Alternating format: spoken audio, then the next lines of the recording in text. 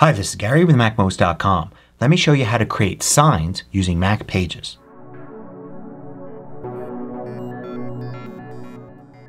MacMost is brought to you thanks to a great group of more than a thousand supporters. Go to MacMost.com slash Patreon. There you could read more about the Patreon campaign, join us, and get exclusive content and course discounts. So one thing you can do with Pages on your Mac is create simple one-page signs that you could print out. So in Pages I'm going to start off here with a blank document. And the first thing I want to do is I want to switch to page layout mode. So go to File, Convert to Page Layout, Agree, and now you're in page layout mode. The body text is gone and you can just add elements to the page. Under Format in the sidebar here, if you have nothing selected you should see Show Header and Footer. Let's turn that off. We don't need that for a sign. Then let's go to View and then show rulers so we see rulers there. And I'm going to reduce the zoom to something smaller so I could see the entire page on the screen which makes it easier to visualize what's going on. Now let's add some rules around the edges. So we're not necessarily creating margins because we could put things wherever we want on this page. But this gives us some guides so we don't get too close to the edge. So I'm just going to drag from the rulers down or across to bring up these yellow lines that are guides that will make it easy for us to see where we are and make sure we don't get too close to the edge. So I'm a half an inch from each side. Now to add some text I'm just going to click on the text box here to insert a text box. And let's create a simple sign here. I'm going to type some text into this text box. Then I'm going to do Command A to select all the text. Go to Format Text. And then I'm going to increase the size to make it larger a little bit. Let's also pick out a nice font. So you can pick whatever you want. I'll pick this one here center it. Now let's position this box up near the top and I'm going to grab the edges here by grabbing those little dots and bringing it over so I have plenty of room to make the text even bigger.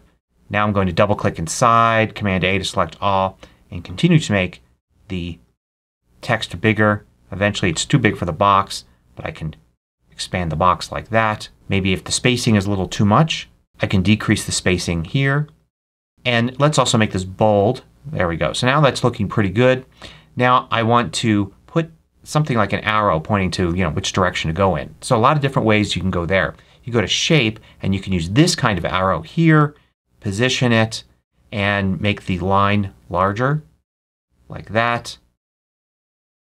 You could also go to shape and search for arrow and you can find an arrow shape here. And then I can stretch that to whatever I want use this green dot here to reshape the arrow head. And then the cool thing about this is I can go to Format Style and I can actually set a border. So I can create a border like this and increase the border size. Let's change the color though to something like that. So now we have a cool color like that. You can even change the type of line. Make it something fuzzy around the edges or whatever to grab attention. Now I want something at the bottom. I'm going to select this text here instead of creating a new text box and starting over again with the font and size and all. And I'm going to hold the Option key down and drag and that will create a duplicate of it. And then I'm going to select all in here and put some other text. And then let me shrink this box here and I can position it nicely. Let's change the font color. I'm going to triple click in here, select everything, go to text, change the color to red then here as well I'm going to change the color to green.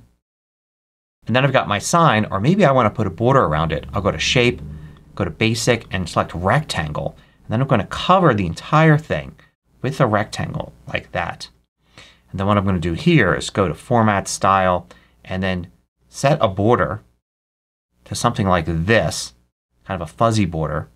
And then I'm going to increase the size for that. I'm going to set the fill here to no fill. Now you can see I've got something like that. Maybe I want to select this box here and bring it in a little bit to get it a little bit further away from the edges like that. Maybe adjust the text boxes as well until I get something that I like. If I want another alternative to the arrow I could add another text box like this and I can type in here a special character or an emoji. So Control Command Space brings that up. And I can do point. Let's search for that. And I come up with some emoji hands that point. I come up with some other types of arrows and things. There's some old-fashioned hands like this one here. I like that. Let me select it and let's go to Format Text. Make it bigger like that. if it's pointing in the wrong direction I can always go to arrange and then flip horizontal like that. And of course I could change the color of this as well. And that's just another way to go. Let's try another sign. I've set everything up the same way here, converting to page layout, adding these guides here. And now let's go and add a text box. And let's say this is a sign that you're going to post uh, somewhere for people to take a phone number. So something like guitar lessons. And then let's make that larger here. Maybe pick a more fun font like that. Let's move this box here. Center it. You could even have it centered vertically like that with that button there. And change it so it's a little wider like that. Now let's maybe do a shape and let's search for guitar. And there are a couple guitars in there. Let's select this one. Make it larger and then I'm going to hold the command key down and click on a corner and then drag and I can rotate it. So we can rotate and resize. Let's go to Format Style. Change the color fill to something like a gradient fill. Maybe an advanced gradient fill here. The radial gradient like that. And we can adjust this as we like. And set the center. Something like that. We could also do a border here, line, and then set a border. Let's option drag here and put something else. Select that, go to text and shrink it down like that. Arrange things like we want. Now the idea is we want to have a little tabs here that you could kind of pull off the sign. So let's go to shape again, basic, and do a line. I'm going to put one end of the line right here and the other end here. This is going to be a guide for pulling it off. I'm going to do text and then let's put what we want here, guitar lessons, and that phone number. And let's increase the size for that. Maybe make it bold. And then we'll shrink this down to be something like that. And let's then turn it 90 degrees instead of using command and then pulling it like that. I'm going to actually go to Format Arrange and you can go to rotate and let's rotate negative 90 and that actually sets it to 270 there. So now you've got these little tabs. So you can put these here at the bottom of the page. And then what you want to do is you want to do Option Drag and drag a bunch of them. Don't worry about whether or not they match. Let's just get a bunch of them like that. And then select them all.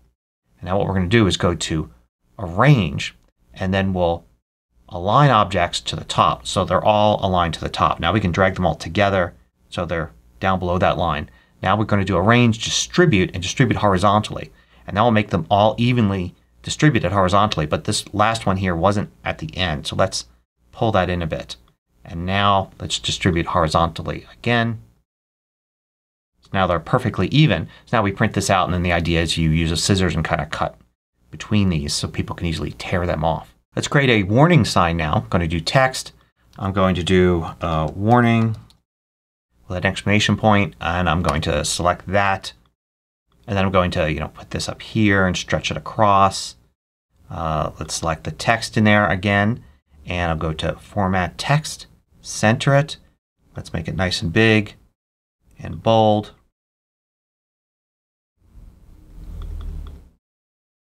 Be nice if that was all caps. I could type that all caps or I could click here, go to capitalization and do all caps like that. Let's option drag down and then put no diving like that. Let's then position that down here. Now we want that big you know circle with a line through it and you would think there would be a shape here that would have that but it doesn't. No problem. We can make that. Let's do a circle. I'm going to make the circle just as big as I need. Holding down the shift key will keep its ratio so it'll still be a circle not an oval. Let's make that big like that. And let's put that somewhere in the center of the page. Now I'm going to option drag again. So I have two of these. But with that second one selected I'm going to go to Format Style and change it to some other color. Doesn't matter what color. Just something you can use to distinguish it between the black there. I'm going to center it over. And then I'm going to hold the Option and Shift key drag down. And you can see how it resizes it holding the center. So I'm going to make it so that this outer part is the right size. Now I'm going to Shift click to select both of those circles. Go to Format, Shapes and Lines, and Subtract Shapes. So it cuts a hole and we just have one shape that's like this. Now let's go to Shape and then a square and I'm going to drag it so it goes across and then I'm going to drag it so it's a bar basically about the same width as this outer circle here and now what I'm going to do is rotate it. So Format, Arrange, and let's rotate it at a 45 degree angle like that. Now I'm going to select both of these using the Shift key. Go to Format, Shapes and Lines, and Unite Shapes. Now you have one shape that's like that. I can now go to Format Style and set the color to red.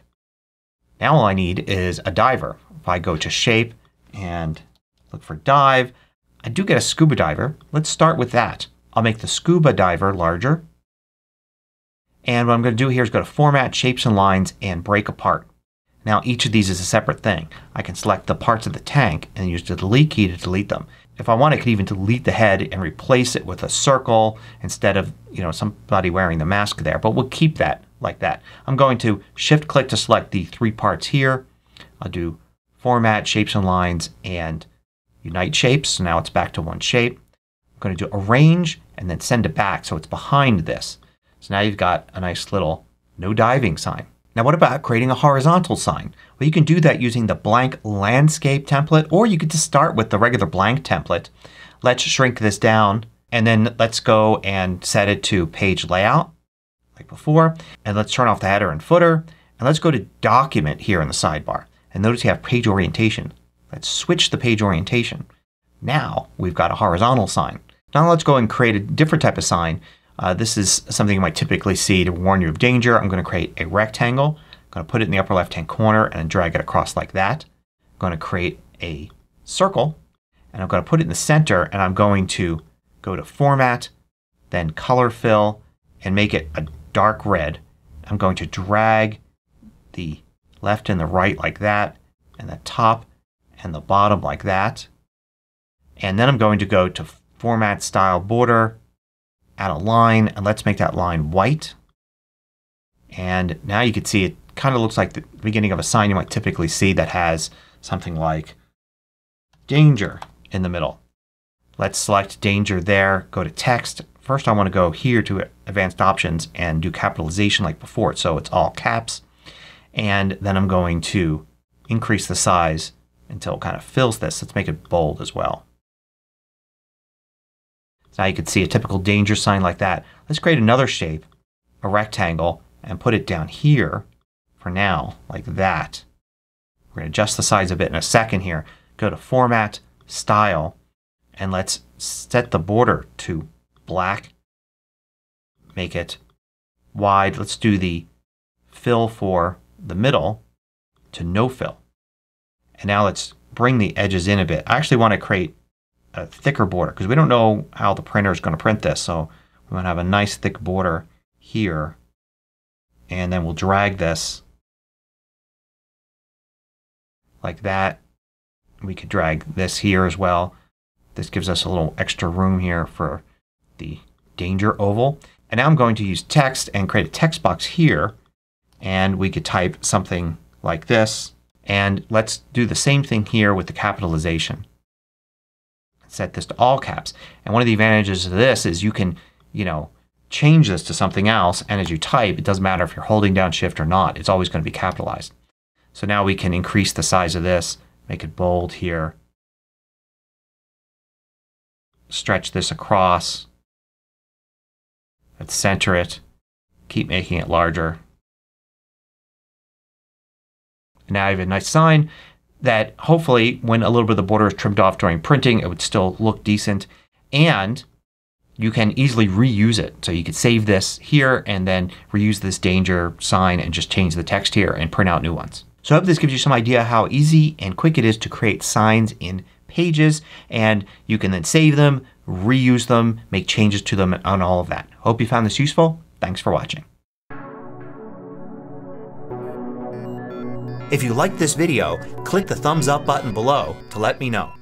I publish new tutorials each weekday. Hit the subscribe button so you don't miss out.